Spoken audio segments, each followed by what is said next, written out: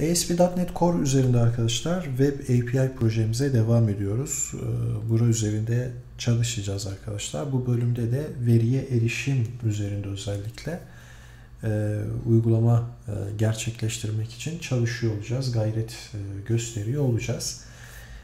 Sevgili arkadaşlar biz yazıp gereksinim ve modelleme derslerimizde genellikle Software Architecture diye bir kavramdan bahsediyoruz ve e, orada bir yazılımın gereksinimlerinin belirlenmesinden tutun da e, ilgili yazılımının geliştirme şekline, e, her bir e, komponentinin bileşeninin arkadaşlar nerede olması gerektiğine vesaire pek çok detaya bakıyoruz.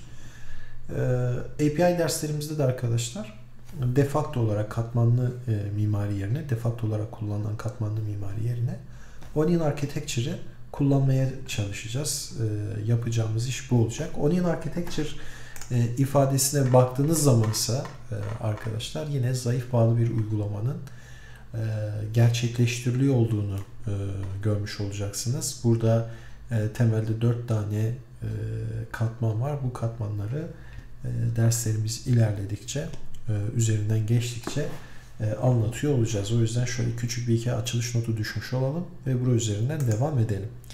Şimdi bizim varlıklarımız olacak bir e, veri tabanıyla ilgili konuştuğumuz zaman e, ve varlıklarımızı entities klasörü içerisinde hali hazırda modellemiş durumdayız. Tabi bu e, burada şu anda projenin bir e, ID değeri var bizim için bir de name ifadesi var. Daha önceki seride arkadaşlar yani daha önceki uygulamalarımızda yine YouTube'dan bulabilirsiniz bu uygulamalarımızı. E, Fluent API yaklaşımı kullandık. E, orada nesnelerin e, taşıması gereken özellikleri bir konfigürasyon dosyasında belirttik. Burada da farklı olması açısından bir data annotation yaklaşımı kullanalım.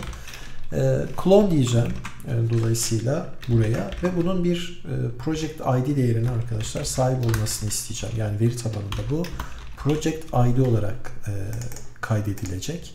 Ama burada uygulama içerisinde ben bunu ID olarak kullanacağım. Name ifadesine geliyorum. Projenin arkadaşlar name bilgisi null bir değer taşıyabilir diye e, e bir ifade olsun veya onu tabi buraya yazarız eğer öyle bir şey yapacaksak.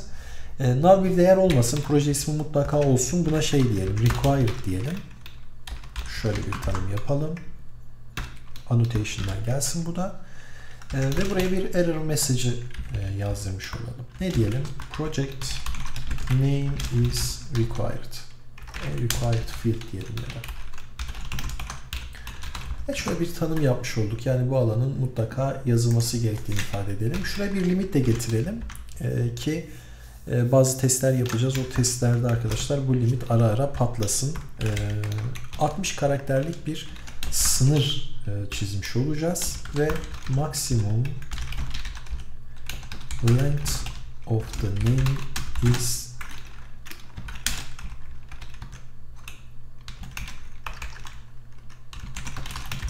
şöyle bir tanım demiş olalım. Şöyle bir mesaj vermiş olalım. Evet bunun dışında description ifadesi olsun. Prop string description diyelim. Bunu yazmak zorunda olmasın. Yani bu veri olmasa da olur. Null değer kabul etsin e, diyelim. Prop string field şeklinde bir alanımız olsun. Projelerin arkadaşlar hangi alanda yapılıyor bu proje? Bununla ilgili bir bilgimiz olsun. Prop string diyelim. Yine e, image URL şöyle bir imge tanımı elimizde olsun. E, bu kadar. Bu nesne için söyleyeceklerimiz bu kadar. Bir de arkadaşlar bir e, employee entisi oluşturalım. Yani bir de employee tanımı yapalım. E, public class diyeceğim. Public class employee. Bu da benim için bir e, varlık olacak. E, employee ifadesi. Employee içinde şimdi e, daha önce yaptığımız gibi şöyle prop diyelim. int bir ID alanı olsun. Prop string first name alanımız olsun. Prop string last name olsun. Başka üzerine ekleyeceğimiz e, ne olur? Bir position değeri verelim. Yaş verelim. Prop int age prop string bu bilgi olmasa da olur diyelim. Null değer kabul etsin yani. position. Evet şimdi burada e, navigation property'ler üzerine de konuşalım. Şimdi arkadaşlar public GUID diyeceğim. Burada project ID alanının olmasını istiyorum ben. Dolayısıyla bunun get seti olsun. E, bir ifadenin Entity Framework'te biz şunu biliyoruz. Bir ifadenin arkadaşlar skalar bir karşılığı yoksa yani bir string değer karşılığı yoksa e, bir sayısal değer karşılığı yoksa bu genelde navigation property olarak ifade ediliyor. Bu da tablolar arasındaki ilişkiyi e, tutmamıza izin veriyor. Tabi buradaki e, ifadenin arkadaşlar somut bir karşılığı var. Yani bu bir foreign key olacak bizim için. E, şu da navigation property olsun. Prop diyelim. Project. Project. Evet şu da arkadaşlar navigation property olsun. Bu da foreign key'imiz. Yani yabancı anahtarımız. FK şeklinde yazmış olayım bunu. Evet böyle bir tanım e, yapacağız. Şimdi data annotation mantığıyla e, aynı ifadeyi mesela bunun bir e, klon olmasını, veri tabanında bir klona karşılık gelmesini istiyoruz.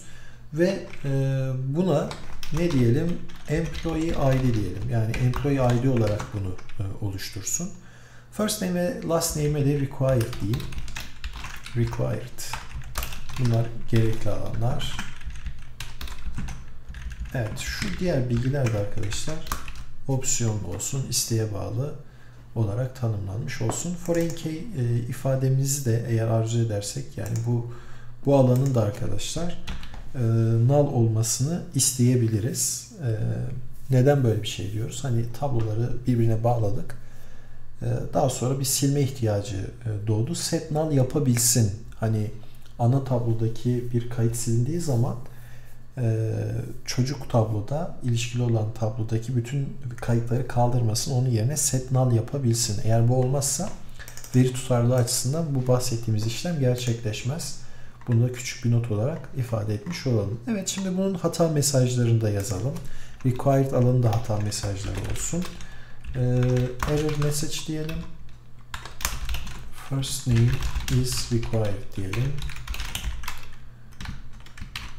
Aynı şekilde şöyle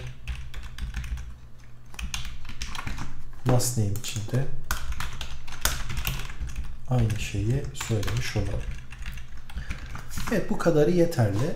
Ee, burada da arkadaşlar bir e, iCollection Navigation Property tanımı e, yapalım. Yani e, proje üzerinden employee'lere gitmek mümkün olsun. Nasıl ki employee üzerinden projeye gelmek mümkünse benzer şekilde employee yani proje üzerinden de employee'lere geçişi uygun hale getirelim. Public diyelim. I collection employee diyelim. Yine null bir değer olabilir. Employees şeklinde bir tanım yapmış olalım. Get seti olsun bunun da. Evet bu tanım da tamam. Şimdi burada e, yani employee üzerinde baktığımız zaman bir foreign key'e ihtiyaç var. Yani bunun FK olduğunu söyledik ama annotation'da belirtmedik. Onu da belirtelim. Sen bir foreign key'sin demiş olalım. Name of project. Projeye bağlı olarak oluşacak bir foreign case'in demiş olacağız. Evet bakın şu anda e, bu ilişkilerin, bu bağlantıların kurulmasını bekliyoruz. Eğer kurulmaz ise e, gerekirse Fluent API ile de e, bir şeyler yazarız. Çok problem değil. Evet varlıklarımı oluşturdum. Move type diyorum. Employee ve project şeklinde iki tane varlığım var. Şu anda o iki varlığımı oluşturdum. E, bir veri tabanı bağlantısı yapacağım arkadaşlar ve bunu uygulama üzerinden yapacağım. Dolayısıyla e, Project Management uygulamamı gelip App Settings kısmına odaklanıyorum. Burada bakın logging ifadesi bittikten sonra şöyle gelip bir connection string ifadesi açalım. Ve buraya e, istediğimiz bir ismi verebiliriz. Default bir connection ifadesi e, yazabiliriz ya da e, bir isimle devam edebiliriz. SQL connection diyelim mesela. Veri tabanını SQL olarak kullanacağımızı düşünelim. Ben hemen bir bağlantı dizesi yazacağım. Data source diyorum. Veri kaynağımdan bahsediyorum arkadaşlar. Local DB. Bu kısmı veri tabanından kopyalayabilirsiniz. Burada Postgre kullanabilirsiniz. İstediğiniz teknolojiyi kullanın fark etmez arkadaşlar. Ee, ben lokal bir DB oluşturayım. Şimdi initial katalog. Evet, şimdi katalog kısmına gelince e, katalog kısmında veri tabanımızın ismi olmalı. Biz buna Web API Course demiştik e, namespace'e. O yüzden Web API Course DB e, demiş olacağım. Ve son olarak da Integrated Security diyelim. Buna da türü demiş olalım. Evet bu bağlantı gizemde bir hata olursa arkadaşlar sonra geriye e, döner. E, bunu güncellerim. Benim için bu anlamda bir sorun yok. Veri tabanı bağlantısı kurmak için yeni bir projeye ihtiyacımız var. O projeyi şimdi oluşturacağız ve buna repository demiş olacağız. Hemen gelelim. Add diyelim. New project. Bir sınıf kütüphanesine ihtiyacımız var. Sana repository demiş olacağız. Alt sıfıra göre repomuzu oluşturuyoruz. Ee, buna repository context ismini verelim.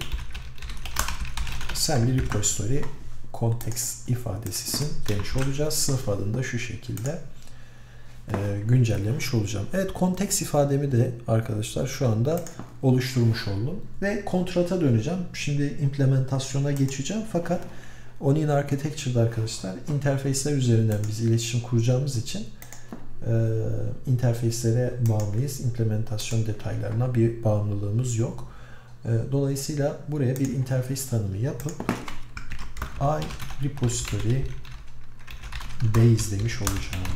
Bir base repository'de olması gerekenler neler? Evet bu kısım önemli bizim için. Şimdi biz burada arkadaşlar lazy loading yani o tembel yükleme olayını e, destekleyecek şekilde bir şeyler yapmak istiyoruz. E, dolayısıyla ben burada iQueryable ifadesini kullanacağım. Yani lazy loading'i destekleyecek şekilde bir iş yapacağım ve buna find all diyeceğim. Hatta şuraya bir de bool ifadesi ekleyeceğim. Track changes diyeceğim. Yani Entity Framework'teki değişiklikleri izleyip izlememe noktasında bir e, performans kaygım olacak. E, bu kaygımı bu anlamda dile getireceğim. Jenerik bir sınıf olsun diye şuraya da t ifademi vereceğim. Ve t'nin arkadaşlar referans tipli bir ifade olmasını isteyeceğim. Evet. Dolayısıyla ilk imzam tamam. İkinci imzam yine iQueryable bir ifade. Bu defa find by condition diyeceğiz arkadaşlar. Find by condition. Çeşitli repo tanımlarında find all, find by condition gibi ifadeler görebilirsiniz farklı teknolojilerde de. Ee, onun bir anlamda bir benzetimini yapıyorum. Ee, burada bir expression ifadesi kullanacağız. Bir expression ifadesi. Buraya da bir function geçeceğiz t'ye bağlı olarak çalışsın. Bool şeklinde ifademizi yazmış olalım. Expression ve yine bool track changes değişiklikleri izleyip izlememe konusu Entity Framework ile ilgili bu arkadaşlar. Bunu da bu şekilde yazmış olduk. Evet şimdi CRUD için yani şunlar retrieve, veriyi getirme, e, okuma anlamında kullandığımız ifadeler. Bir create ifademiz olsun. İçeriye t alsın. Buna entity diyelim. update ve delete işlemlerini de yazalım. Evet şu anda bir temel bir repoda, temel bir e, repository için taşıması gereken özellikler nelerse biz bu özellikleri şu anda arkadaşlar e, tanımladık ve burada lazy loading için iQueryable ifadesini de e, kullanmış olacağız. Temel farklılıklarımızdan biri bu olacak. Bu şekilde e, bir tanım yapmış olacağız. E, bunu kullanacağız e, repolarımızda ama öncesinde bir kontekse ihtiyacımız var. Konteks tanımı yaptık fakat bunu henüz bunun için herhangi bir implementasyon yapmadık. Bunun için bir implementasyon yapalım. E, repo tanımı için, konteks e, için arkadaşlar bir paket e, kuracağım. Paket kurmanın alternatif yollarını biliyorsunuz. İstediğiniz yolu takip edebilirsiniz. Install package diyelim. Microsoft Entity Framework Core. Evet, Entity Framework Core üzerinden bir kurulum gerçekleştireceğim. Hangi e, projeye kurayım bunu? Project Name. Project Name arkadaşlar repository. Repository'e kur demiş olacağım. Version. Version'da da tutarlık sağlamak amacıyla altını bakalım en son hangi sürümleri gelmiş. 6.04 var. Ben ama 6.0'a göre işlem yapacağım. Bütün paketleri buna göre ekleyeceğim. Evet alt sıfır ekliyorum projeme. aynı satır. Şöyle hatta bir temizleyelim. Evet aynı satır arkadaşlar. SQL Server'ı da ekleyeceğim. SQL Server'ı da ekledim. Aynı satır yine aynı projeye. SQL Server dışında Tools'u da ekleyelim ki migration vesaire yapmak istediğimizde sorun çıkmasın. Evet Tools'u da e, ekledim. E, design arkadaşlar normalde design e, arayüzdeki projede istenir. O yüzden repo'ya değil de design'ı project management'a e, kuracağım ama ihtiyaç olursa tekrar repo içinde bu kurulumu yapabiliriz. Evet Tools Design, e, SQL ve Core'u arkadaşlar şu anda kurmuş olduk. E, repoda repomuza baktığımız zaman Core, SQL Server ve Tools ifadelerinin olduğunu görüyoruz. Evet sen bir DB konteksin diyeceğiz buna artık. Kontrol noktayla Entity Framework Core'dan bunu çözeceğiz. Konteks tanımımız tamam. Bunu artık bir veri tabanı olarak düşünebiliriz. Ee, burada bir constructor'a ihtiyacımız var. Constructor'ımızı oluşturuyoruz.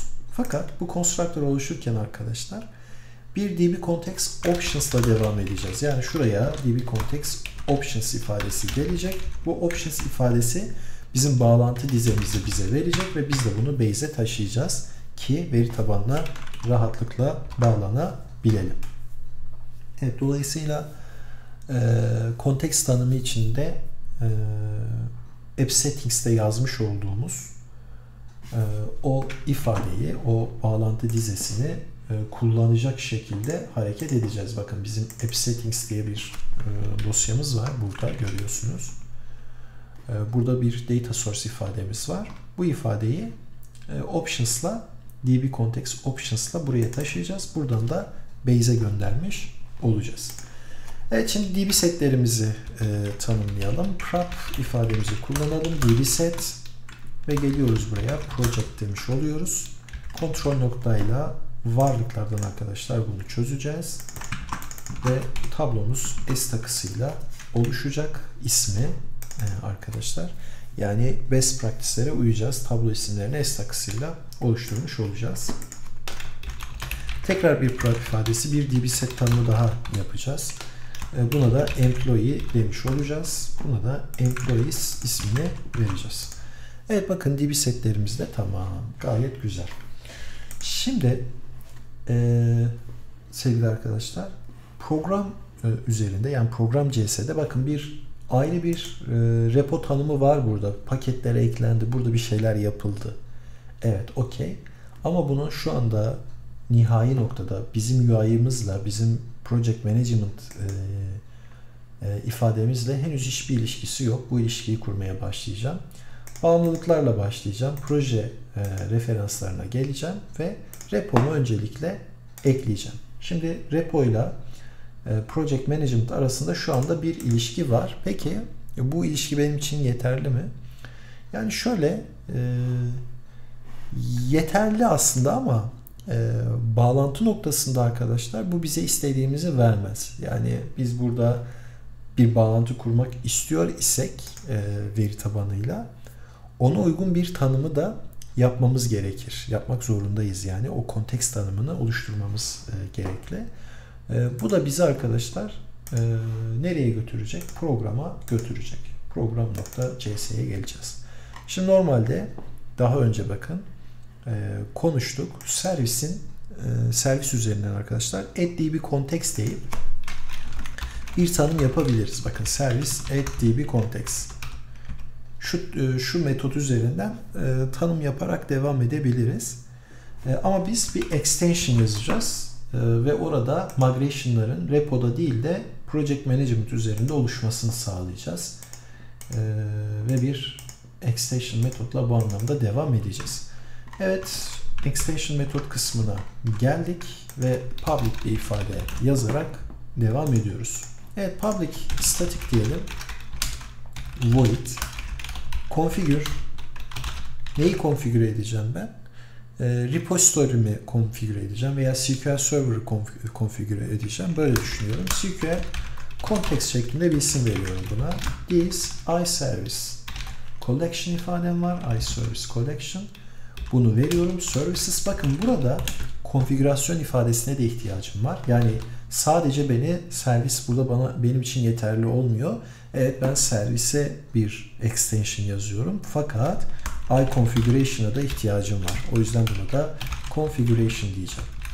Yani e, iki tane arkadaşlar parametre var burada. Şu ifade e, benim uzantı yazdığım e, services'a denk geliyor ama bu metodun arkadaşlar kendisinin parametresi böyle düşünebiliriz. Evet bu ifadeyi de yazdım. Şimdi bura üzerinden services diyebilirim. Yani artık iService Collection yapısına hakimim. Add db context deyip konteksimi oluşturabilirim. Burada repository'm var benim. Repository konteksim var. Kontrol noktayla bunu repodan çözeceğim. Çözdüm. Açtım, kapadım. Şimdi bunun options'larına geçiş yapacağım arkadaşlar. Yani ben SQL ile mi çalışacağım?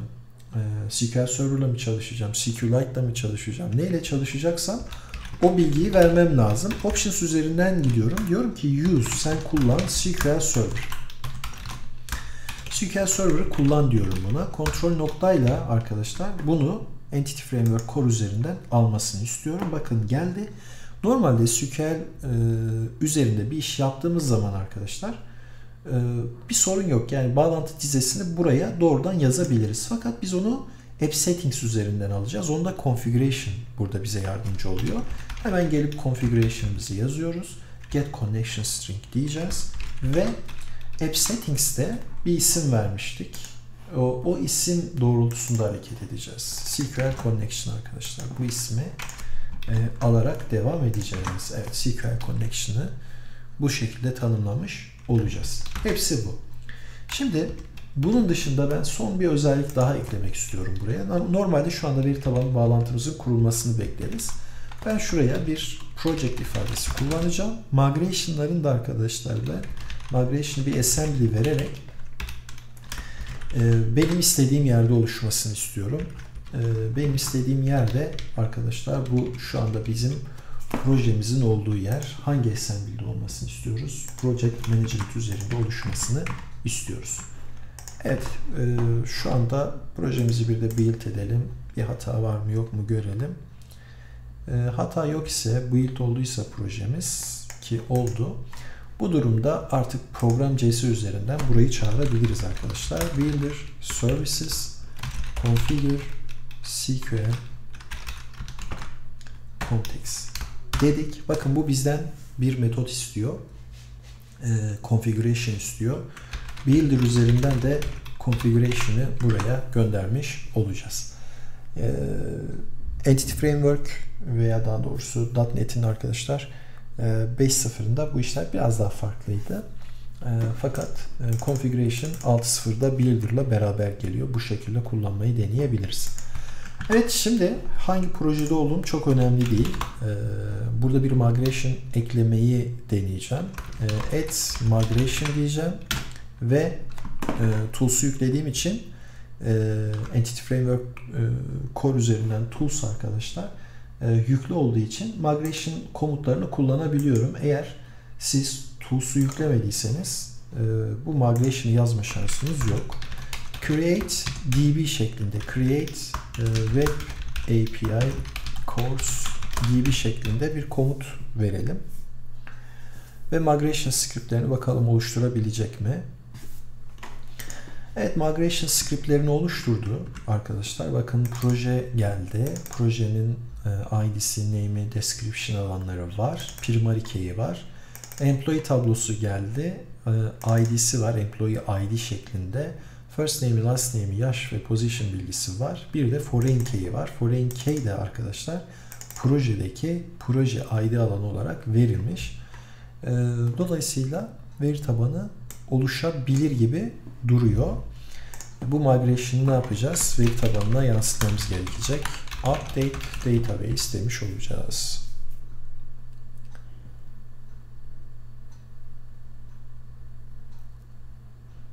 Evet, başarılı oldu sevgili arkadaşlar. Demek ki yazmış olduğum o bağlantı dizesi de e, geçerli oldu.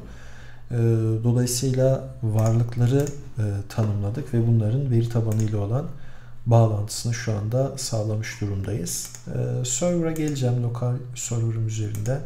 Veri tabanı şöyle bir refresh edeyim e, arkadaşlar. Bizim e, Web API Course DB şeklinde tanımımız vardı. Buranın içerisinde iki tane tablo var. Bakın employee ve proje tablosu. Projeyi de şöyle bir script atalım. E, verileri bize bir göster diyelim. Boş bir e, tablo oluşturduğunu gözlemlemiş olalım.